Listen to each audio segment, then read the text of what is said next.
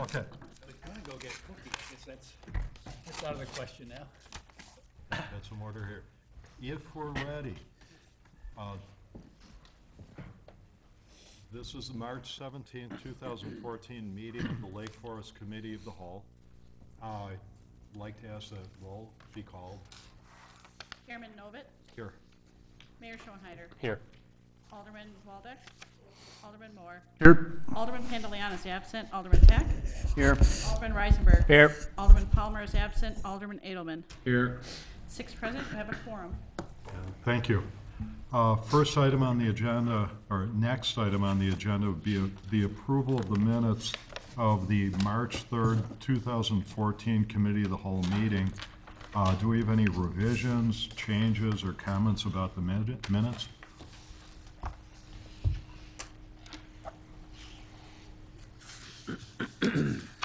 There being none, do we have a motion for approval of the minutes?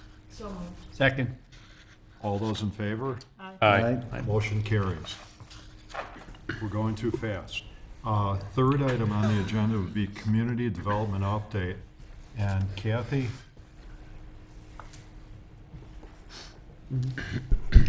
Thank you, Chairman Novit, Novit, Mayor Schoenheider, members of the committee. Um, I am here tonight to really provide you with an overview of development activity. It is spring, there's a lot of things happening. Um, So I'm going to tell you a little bit, a little bit about a whole lot of things. Um, There are a, a couple things that we'll talk about that are currently in the public hearing process, so we're not here tonight for, for debate or discussion. Um, Certainly, questions are welcome and you can feel free to stop me anywhere along the way. and s- I'll stop you about 7:25. Okay, I'll, Big lighting. I'm much better if I'm on point. This isn't my forte.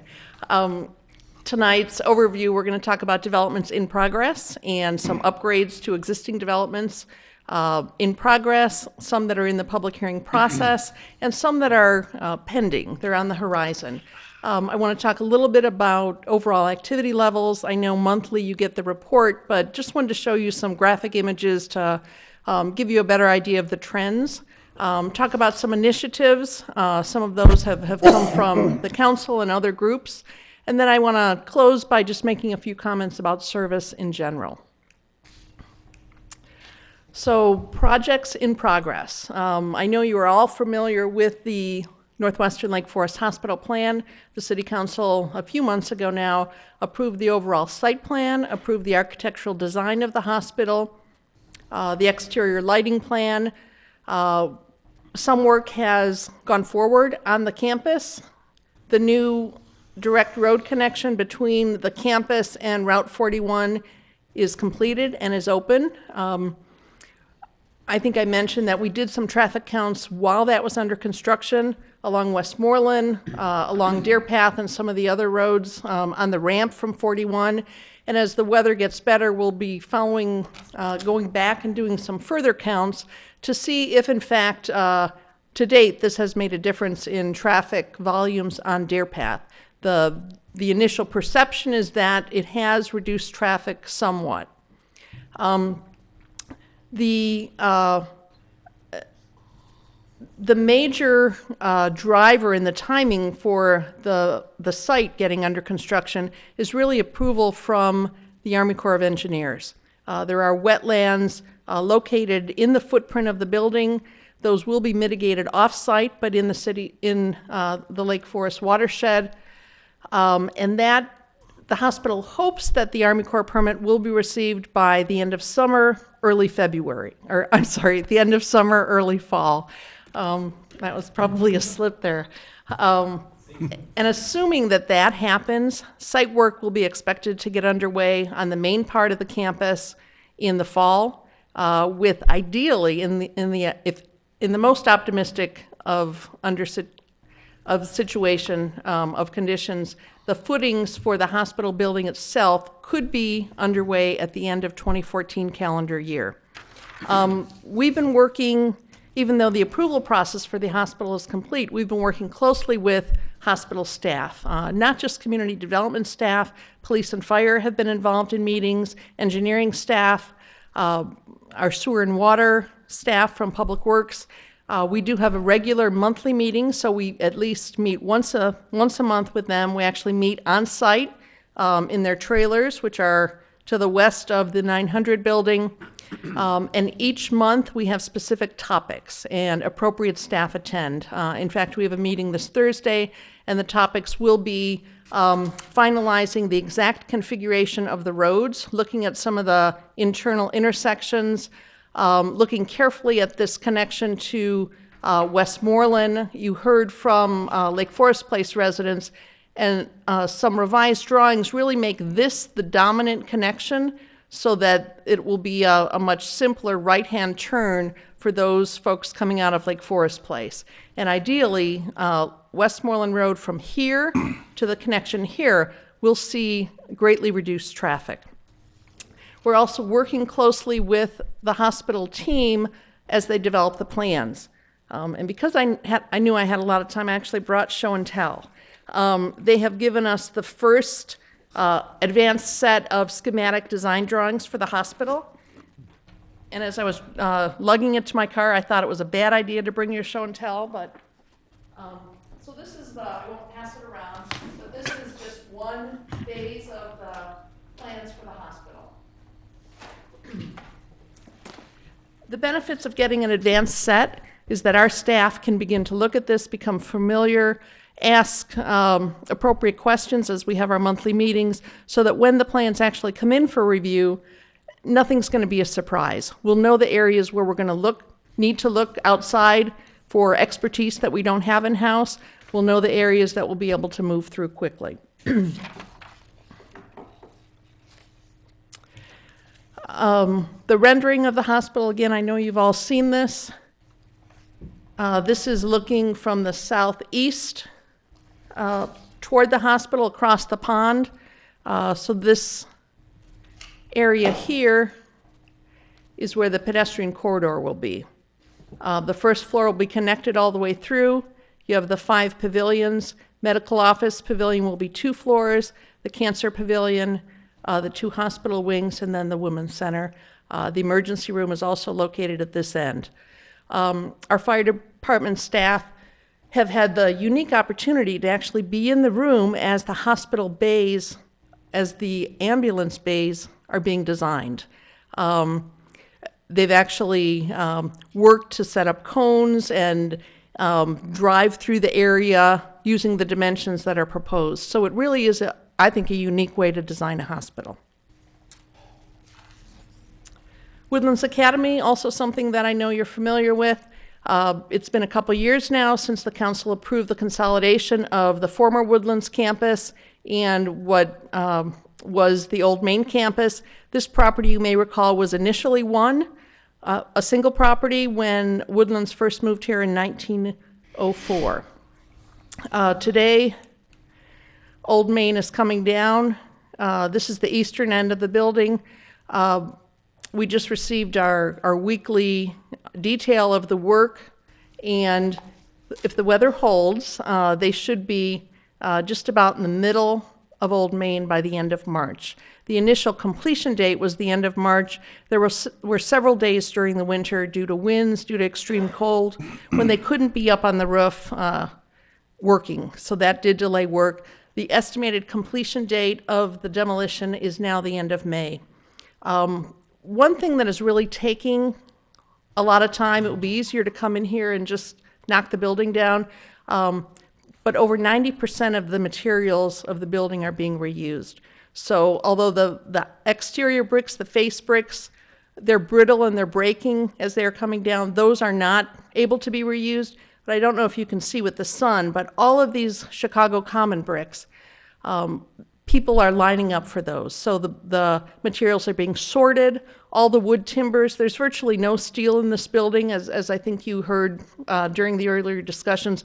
But those 100-year-old timbers, uh, people are clamoring for them. So everything on site is being sorted and bundled and then reused. So I, I think that's um, a good legacy for Old Main. You've seen the Woodlands Academy Master Plan before. Just as a reminder, um, this is the location of Old Main today. Uh, Right here is a proposed location of a memorial to Old Main, and that is directly below where the cupola used to sit. The cupola right now is on the front lawn. Um, But the proposal is, since the cupola came off in one piece, that it will be located there uh, directly below where it stood for 100 years and be a memorial. Um, A key part of this plan is relocating the entrance, pulling it away from the ravine. So the Woodlands entrance and the former Barat entrance would be eliminated, and there will be a new entrance that will have much better sightlines. Um, That was a key issue for uh, the police department as we looked at this site. Uh, Athletic fields are proposed, uh, some reconfiguration of the interior roadways, some parking will be added, uh, the Cooney Library remains, and the hope is that these fields uh, will be ready for play in, in spring of 2015.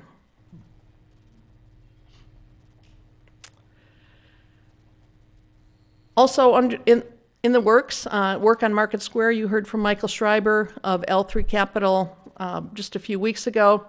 Uh, City staff from Fire and Community Development uh, have been on site. They've walked through all parts of the building.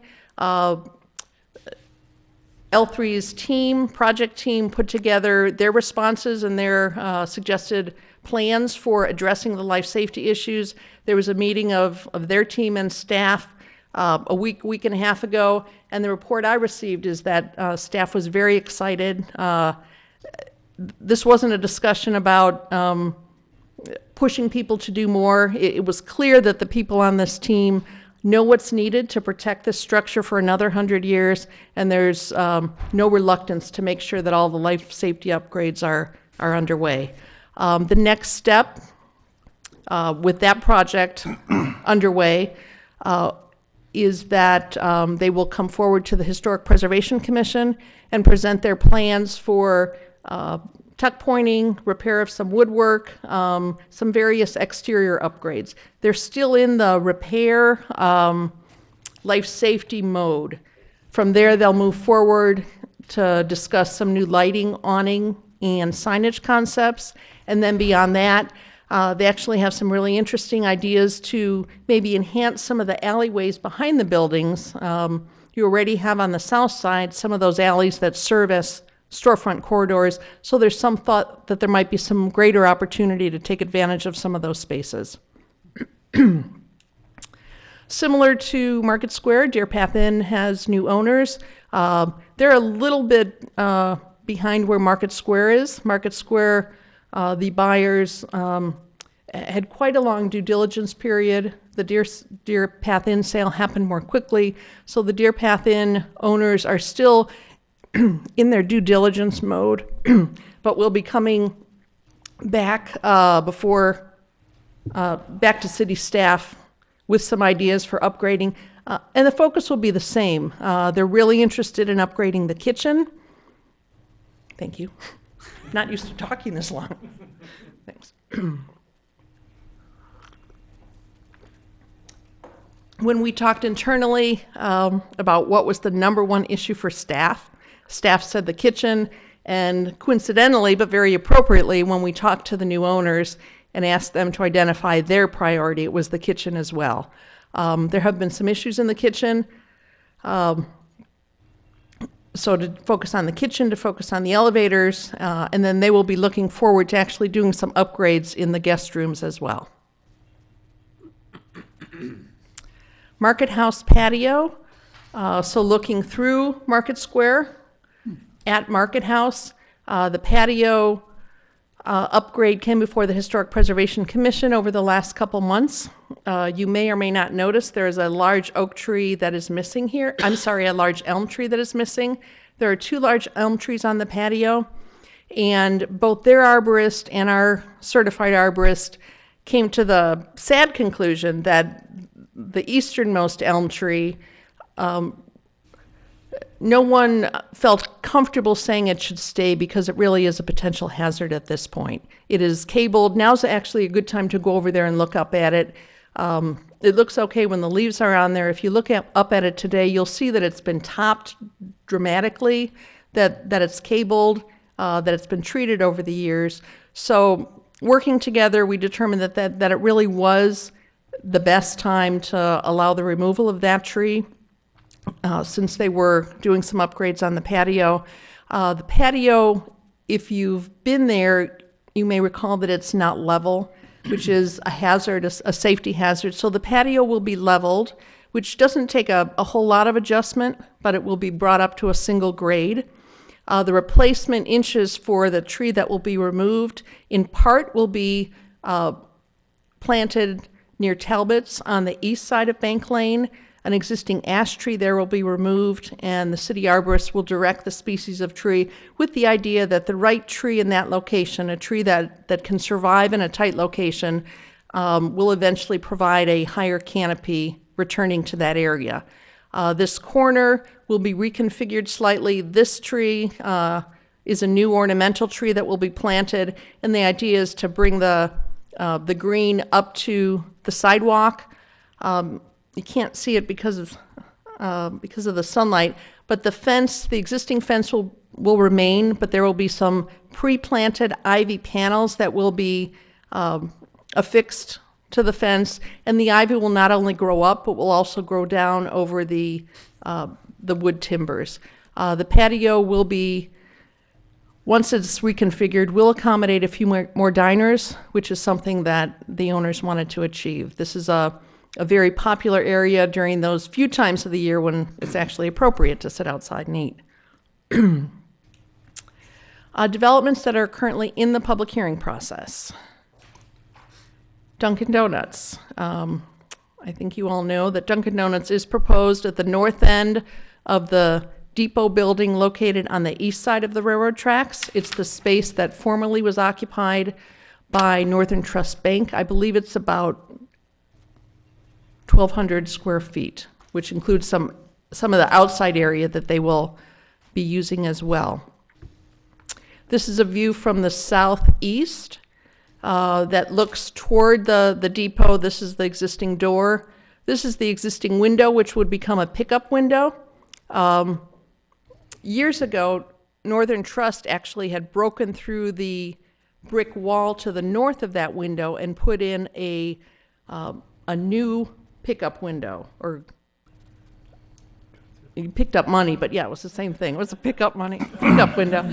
Um, when we talked to Dunkin' Donuts, we really discouraged them from doing that, given all the work that had just been put in on the train station. So they will be uh, actually working within the existing window opening, removing just the lower panel of one of the windows and putting in a sliding window. Um, one of the challenges is that in order to be able to reach your food from your car, because that window is high, uh, there needs to be a grade change that would, will start just about here. Um, and at the highest point, I believe it's about 18 inches. Um, so to accommodate that grade change, there will be a median that will divide the drive-through lane from a pass-through lane. The Plan Commission did see this at their last meeting, uh, their meeting in February. Um, their primary concerns were, uh, they directed us to look at ways to um, maximize the safety of this pedestrian crossing. Now that we have the buses unloading in this area along McKinley, um, if you sit there at, at 4, 4:35, you see a number of people, a, a long line of people walking through here. And it's probably not those times when you have a bunch of people walking through, but when you have one or two people. Um, and, and maybe it's even uh, more important to make sure people who are coming out of the depot are noticed. Um, so we talked about wanting to make sure that this is wide, wide enough, uh, probably a minimum of eight feet. We talked about different treatments uh, that could be put in place. The Plan Commission asked us to look at um, something like a rumble strip or something uh, like a speed bump. In talking with the police chief, we learned that that people actually speed up to get over speed bumps, so that probably is not a, a good location for a speed bump. But perhaps some pavement texture, a combination of signage, and maximizing the width of that pedestrian crossing. Together, those uh, could increase the safety of, of this crossing. the other area that the Plan Commission foc- focused on was the area just south of the drive-through queuing. The menu board is proposed just south of the main entrance door. This is actually the menu board. So it's right here. and the queuing is counted from the menu board.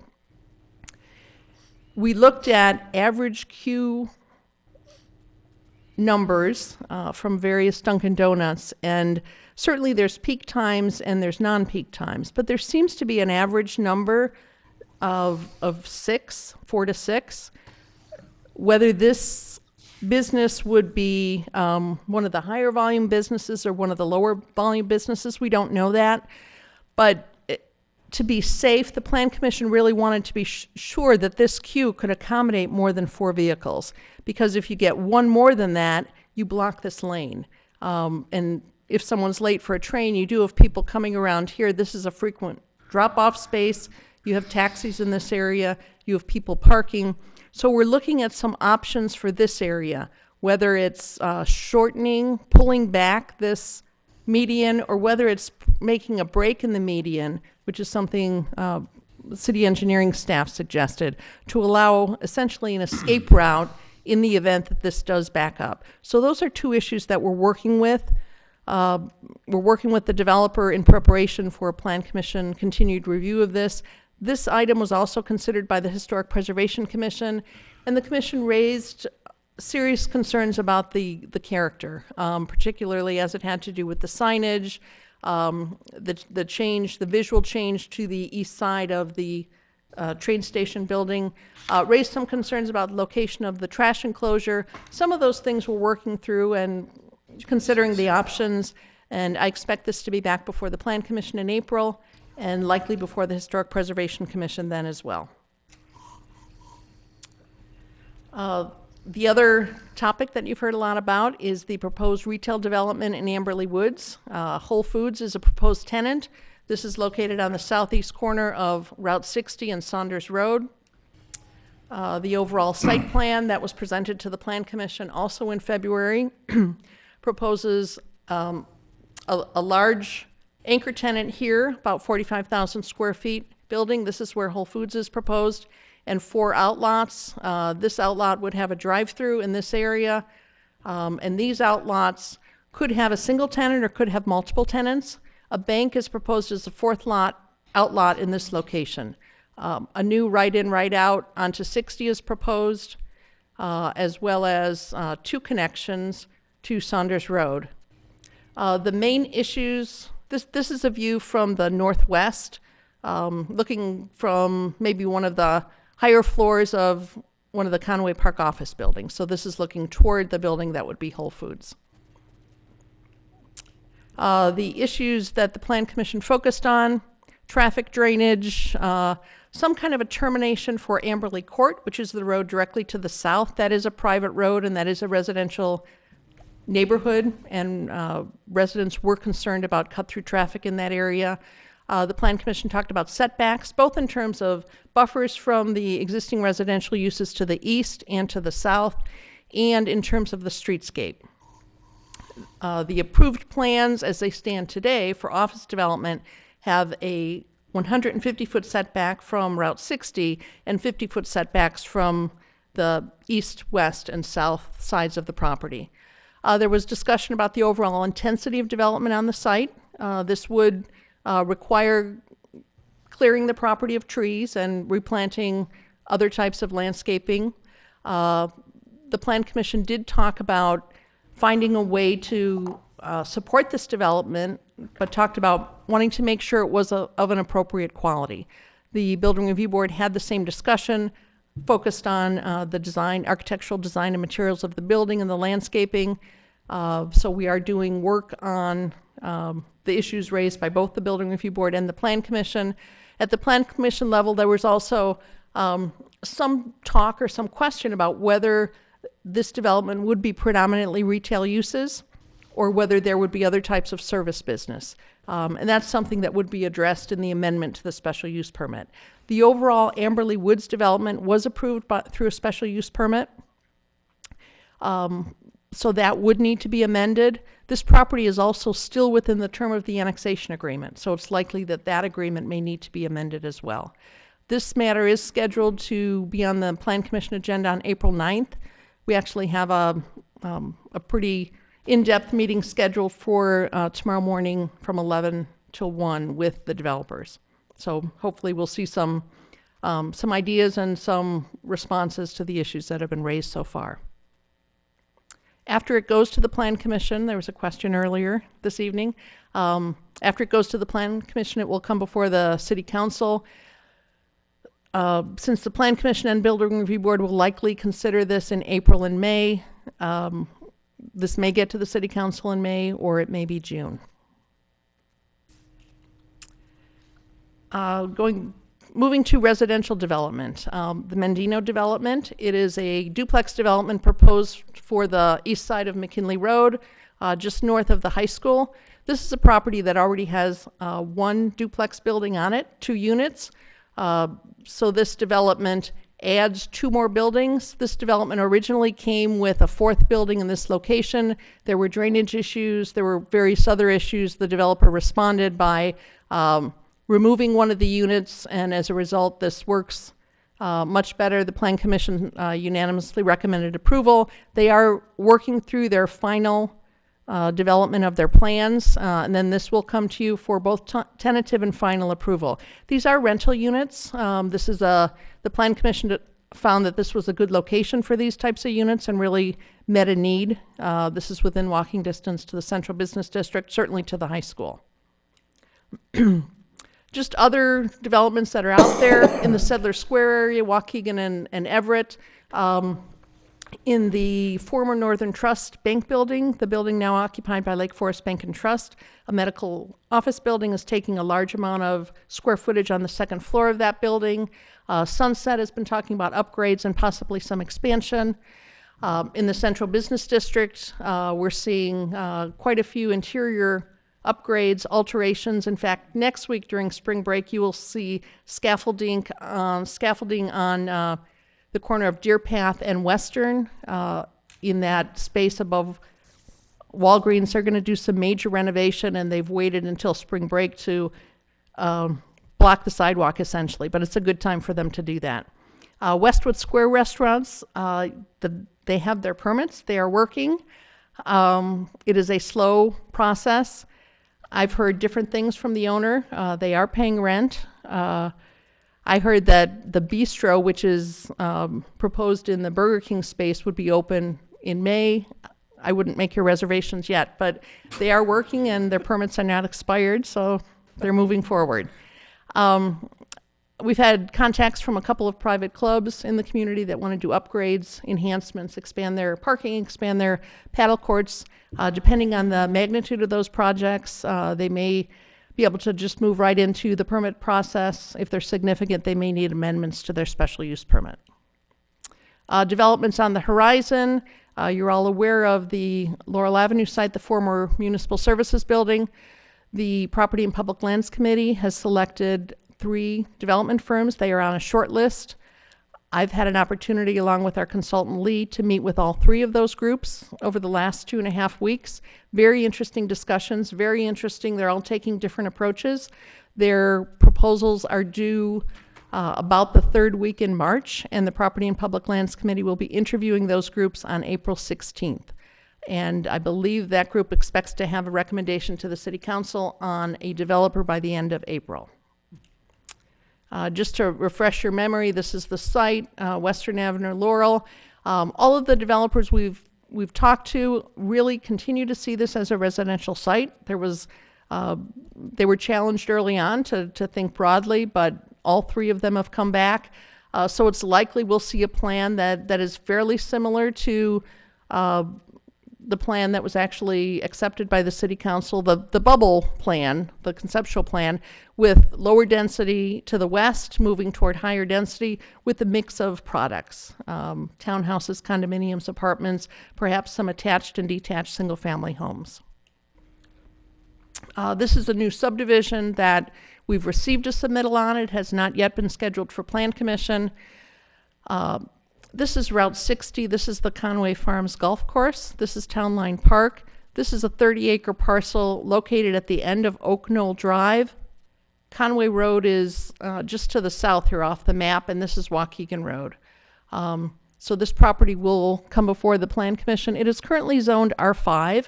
I expect that the request before the Plan Commission will be for rezoning from R5 to R4 uh, to allow greater density, uh, similar to the surrounding properties. Um, and then approval for a plan preservation subdivision, which would allow lots to be clustered toward the west end of the property. Uh, there are some uh, wetland and floodplain issues at the east end of the property. Uh, the Middle Fork Bicycle Bridge uh, is a project that uh, former Mayor Mike Rummel is is very energized about. Uh, this would reconstruct the bridge that's located to the north of Route 60 off of Academy Drive. And there's a star right there, but right below the star, actually, you can see the old abutments. This bridge used to uh, bring the Armours from the corner of Deer Path and Waukegan um, across this land and then back to Reid Hall, which was the house. So it was a very long driveway, a very elegant bridge. Uh, we can't, the bridge cannot be reconstructed in its historic form because of requirements from Metra. Um, the city is participating in, in discussions and design um, conversations about then how does the bridge get connected down to Route 60, and then over the long term, really looking at a connection not only to the city's town line park, but also to the west across the Tollway Bridge, and then to connect with bike paths in Mettawa and along the Des Plaines River. And then a couple things, even looking beyond the city limits, that, that will affect the city in, in one way or another. To the south of us in Bannockburn, you probably heard that Heinen's announced that they will be going into Bannockburn Green, taking the space uh, that Dominick's for, formerly occupied. The city will be involved in that because we do do plan review and inspections for Bannockburn, and there will be um, a pretty significant uh, rebuilding of the interior of that space. Um, also in the same area, Mariano's is looking at the at a, the northern portion of the Beeson property, which is located on the south on the northeast corner of Highway 22 and Waukegan. Um, the city has a boundary agreement with Bannockburn, so if those discussions move forward, we will likely come to the council and talk with you about possibly amending that agreement to um, respond to this proposed development.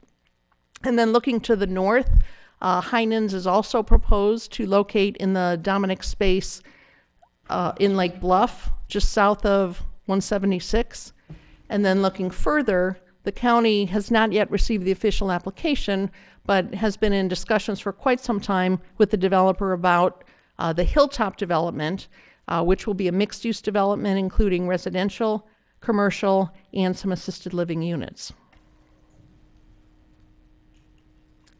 And then to talk to you about day to day activities, uh, just to give you a visual image of where we are with building permits. Um, the low was in fiscal year of 2010, looking at a high as we move to fiscal year 2012.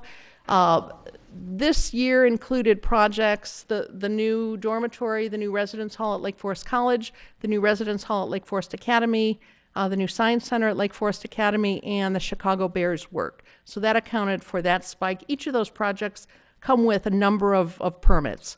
Um, this is where we are today, um, and we do expect the ne- next couple months to be quite busy. Um, wanted to give you a visual image of new residences. Since January 2012, we have issued permits for 22 new residences, which is really significant. Even if you look back to the 2004, 2005 years, um, we, we weren't at that number unless we were building out a Middle Fork farm. Um, I can send you a copy of this separately. You, it's hard to distinguish the red from green, but the new homes are both on vacant lots, many of them in established neighborhoods, such as the, the neighborhood by South Park, the Washington Road neighborhood. Um, some lots that have just been out there and vacant for a long time. Uh, others have been uh, the result of demolitions. You'll see the demolition activity really follows this corridor, so it's neighborhoods near the high school in the Washington Road South Park area, and then we're starting to see a few in uh, along Green Bay Road in the Whispering Oaks neighborhood. So that's traditionally the corridor of demolitions. Um, and many of those homes have just simply outlived their useful life. Uh, some of those smaller homes were never built for um, life beyond 100 years. Board and commission activity. This is usually a very good predictor of what's going to happen in, in the coming year, the coming two years. Uh, fiscal year to date, we are um, we have seen a significant increase since fiscal year 2010. Um, so as we look at that, that tells us the next year is likely to be ve- uh, increasingly busy.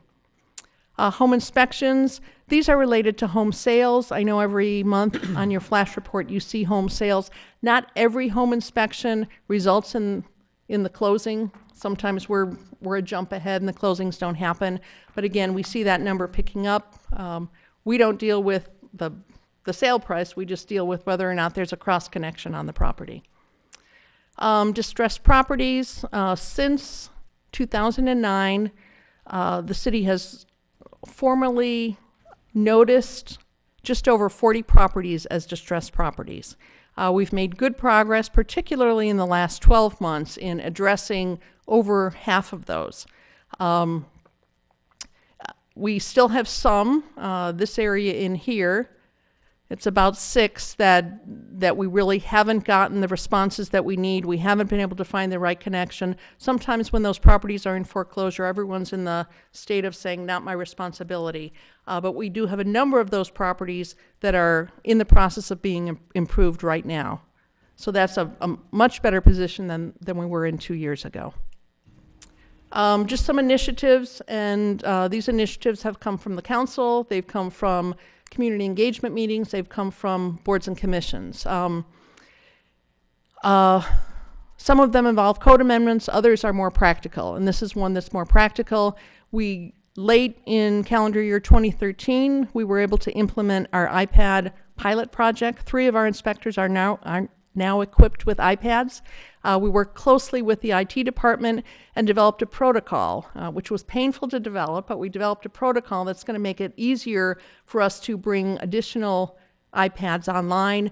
What these iPads do is really enable our inspectors in the field to result inspections, to respond to questions by having the, the code at their fingertips, by having plans, rather than having rolls of plans in their car, be able to pull up uh, digital plans, um, to be able to take photographs, send them to someone back at the office, and resolve issues in real time rather than coming back and saying, I saw this and it looked like that. Um, so the three inspectors who have the iPod, iPads, um, I would say one was very excited, one was accepting, and, and one perhaps um, was dragging his feet a little. I think all of them are, are excited and pleased with the progress they've made so far. Um, still have um, we're not using them fully yet, so we still have a ways to go. Uh, a couple code amendments. Uh, medical marijuana is an initiative that came down from the state. Uh, we can't prohibit the location of either dispensaries or cultivation centers in the community. However, in reality, when you look at the limitations already put in place by the state and any additional limitations that we might put in place through our process, uh, location in Lake Forest is is limited. Uh, but this will go, come before the Plan Commission in the next 30 to 60 days. Secondary living units, uh, Alderman Moore, a year ago, uh, held a, the first community engagement to discuss Granny Flats. The Plan Commission has had one follow-up public meeting and one follow-up public workshop on this. Uh, they have um, given us clear direction on the code language that they'd like to see moving forward, so they will likely hold a public hearing on this within the next 30 to 60 days as well. Uh, the purpose on pursuing this was to provide more housing options, to really meet both housing needs and preservation interests, and to make some of the largest state properties more economically feasible to purchase. Um, it could be coach houses, garage apartments, uh, pool houses, other structures that already exist. You will likely see the recommendation from the Plan Commission that uh, we open the door uh, slowly on this, or open the door just a little bit, and first deal with permitting these uses in existing structures. It would essentially allow a second rental living unit on property zoned for single-family use. Uh, Key issue is neighborhood compatibility and preservation of property values. Uh, Adoption of building code updates. This is particularly timely now that the inspectors are equipped with iPads, uh, but we are working with the Construction Codes Commission to bring forward a recommendation to the council to move us to the 2012 international codes related life safety codes as well. And the key issues will be for the Construction Codes Commission and for the City Council to um, decide whether or not you want to go with the recommendation in those international codes for sprinklers in all residential, all single-family residential structures. Um, the city of Lake Forest has, has moved slowly in that direction. The Amberley Woods development, the Willow Lake development, the Thorndale subdivision, those were all approved specifically with requirements for sprinklers, uh, either give, either due to the narrow lots or the limited access. Um, the Construction Codes Commission will see videos from the fire department uh, that really demonstrate that some of the newer building materials, although they're cheaper and they allow homes to be built faster in the event of a fire, uh, they can be devastating. Uh, when glulam beam, beams come apart and you have a, a full collapse of the roof rather than the older construction that would allow an attic fire to burn up rather than to collapse the structure. So it'll be an, an interesting discussion. Um, Construction Codes Commission will also review the current requirement for cast iron piping um, and may choose to move uh, the full way or, or may choose to take some interim steps that, that move a, a bit to a more relaxed code requirement. And I think the end goal of the Construction Codes Commission is to have fewer local amendments. The international codes are, are widely used, they've been widely researched and studied, they're updated from time to time, and uh, there probably is less and less need for the city of Lake Forest to differ from those.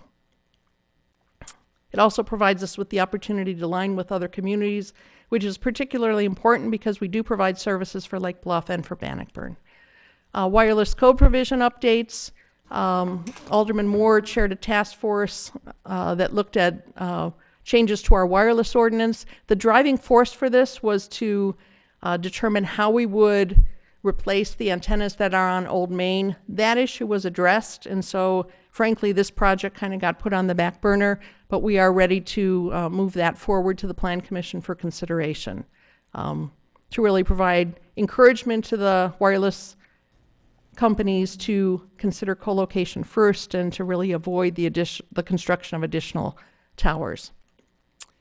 Um, and then a, a final initiative is really sharing resources and knowledge. Uh, city staff has participated with the with Lake County, has hosted meetings with other mu- municipalities monthly to talk about how we can all work together and, and build on each other's knowledge and take advantage of each other's resources. Particularly important because everyone has smaller staff. Um, and I think we've had some really good successes. Uh, a subcommittee of this group studied the medical marijuana issue and developed a model ordinance that at least provides a framework for all communities. Every community is different, but we were able to collectively share the task of doing the research and, and thinking this through. Uh, this group also uh, released a joint request for proposal for elevator inspection services, and the council will be seeing the results of that probably in the coming months um, bring you some options for that. We've talked about what has been fondly referred to now as the bullpen concept, um, where we perhaps can back each other up. If, if someone has a plumbing inspector who's going on vacation for two weeks and they only need three inspections done, is there a way, we can share services?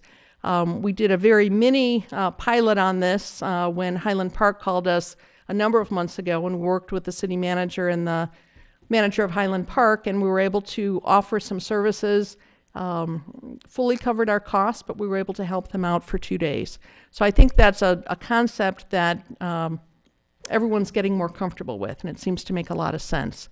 Um, there's also the opportunity to look at assistance for special projects. And when I earlier showed you the hospital plans, this is an area where I think there's a real opportunity for us to look to the county. The county has already been involved in a couple hospitals out in western suburbs, so they have some expertise in uh, portions of the hospital that we don't have the expertise in. And rather than send our staff to training to review plans for the only hospital we're going to have in Lake Forest, it may make sense to share some services.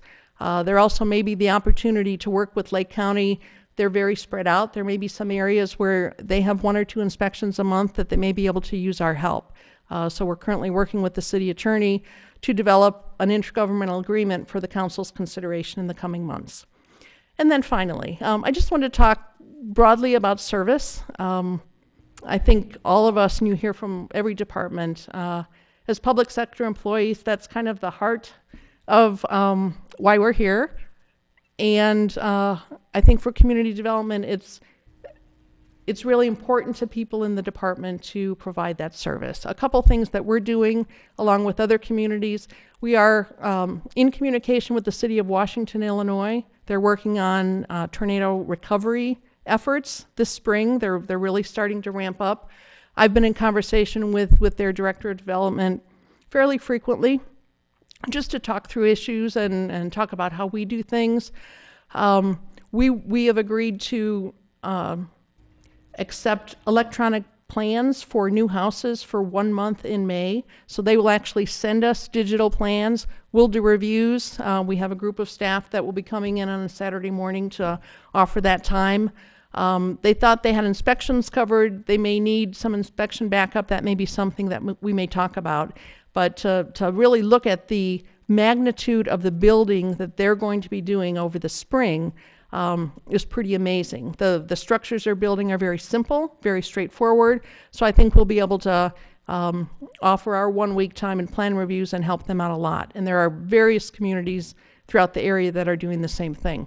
And then finally, the uh, Community Development Department as a group, uh, one day a year, does get together and spend a Saturday morning volunteering at a food bank. And I, I think, again, it's a way to give back, but it also helps us to get out of the office and really build our working relationships in a different way than we do when we're under the pressure of um, staffing the counter and answering phone calls and um, getting emails from aldermen. So I just wanted to share that with you that those are things that we do as a department as part of who we are.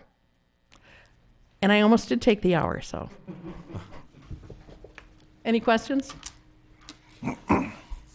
Kath? Si- We're almost built out.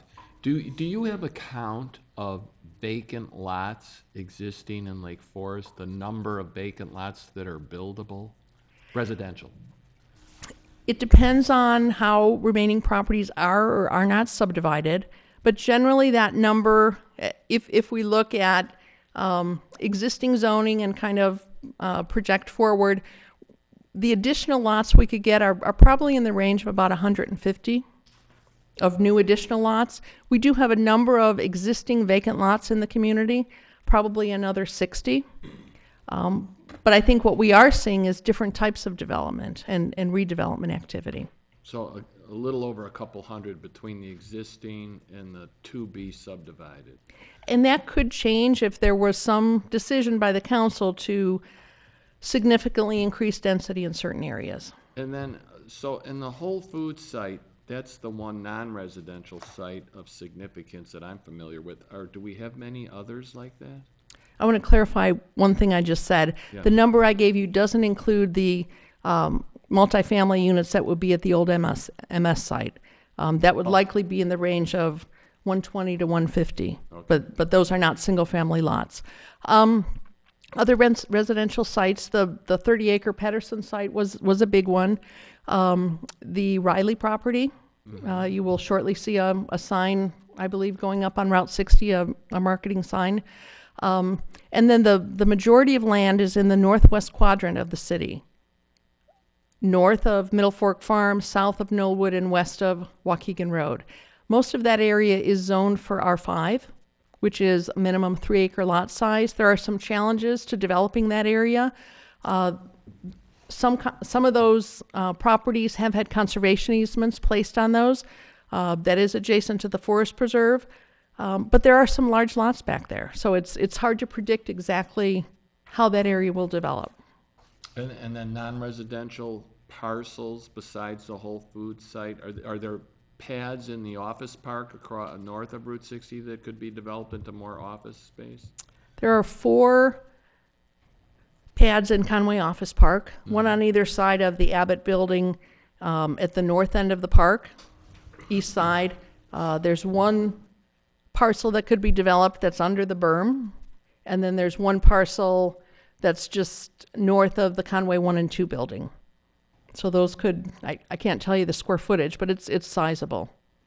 So Lake Forest is about ninety to ninety-five percent built out. Is that a good approximation? I think that's fair to say, and I will say that um, I think we've been using that number for the last 10, 15 years, and things keep changing. but I, I think it's, it's fair to say that. Okay, thank you. Great report. Thanks. I had a question, because, only because you went to Bannockburn and up to, up into Lake Bluff. Is the, is the Target store still happening? Are you familiar with that, or? I believe it is moving forward, um, and I think there's an additional outlot or two, but Okay. I, I don't know the exact timing, but last I heard that is moving forward. And then, kind of a clarification, I don't want to comment on the, uh, uh, the potential, what are we calling the Whole Food site generically? Um, it is called the Conway Neighborhood Market. The Conway Neighborhood Market site. Uh, Personally, I'd like to wait till boards and commissions do their work before I make a comment or anything, but there's a, uh, uh, because of the annex, would you explain, from my understanding, we have extraordinary uh, um, rights as far as determining, as, as a city, because of the annexation ruling, don't we have some expanded purview over that, or is that inappropriate to talk about today? I'm going I- to defer Just an to, explanation of it, not, Sure. not what we were going to do with it, but, I think the city attorney's better to respond to that. Sure, thank you, Mr., uh, or Alderman Moore and and Kathy. I, I think that while we are ordinarily operating just under our regulatory schemes when we deal with land use issues, with an annexation agreement, we have some other terms. When that property came into the city, uh, I want to say maybe about eight years ago, nine years ago, we had identified a series of considerations as to what it could do, as well as what it could not do. And for a change of that, it, re- it would require an amendment to the annexation agreement. And like any other agreement, that's more a matter of negotiation. We have authority in negotiating contracts that we don't have merely as a regulator. So in that regard, we do have some, uh, some greater ability to control the development under the context of an annexation agreement than we would simply under our zoning code. Would it be Now, like there is a, a limit in terms of time. Annexation agreements can only go for a total of 20 years. I think we're down to our last eight, eight or 10 years, uh, roughly, for, uh, for the Amberley Woods development as a whole. so is it like a special use permit? It, it's actually even broader than a special use permit. There are things that, for example, um, our zoning powers are designed to regulate uses. Um, with an annexation agreement, you could go a little bit beyond the mere use. You could actually define uh, more particular aspects of the use or the user that wouldn't be necessarily available under zoning powers. So th- there, there are areas that we essentially can extend our powers, but only for the limited time of the annexation agreement, and only if it's mutually agreed, because it is an agreement.